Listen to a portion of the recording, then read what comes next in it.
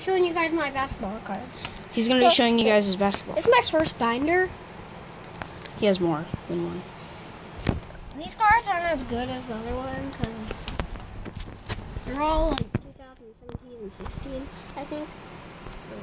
First, I got this is my best page. So has. Look at it. Nobody cares. Got more mm-hmm. Derrick Roses, but this is the Knicks. I think we got another slam dunk with these. I got like three Kobe Bryants. They're all from NBA 2K17, but this one looks more realistic though.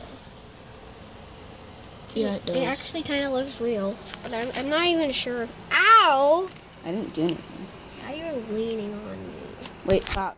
You guys are. Is Firmino? Ooh, this is not good. That fan's over.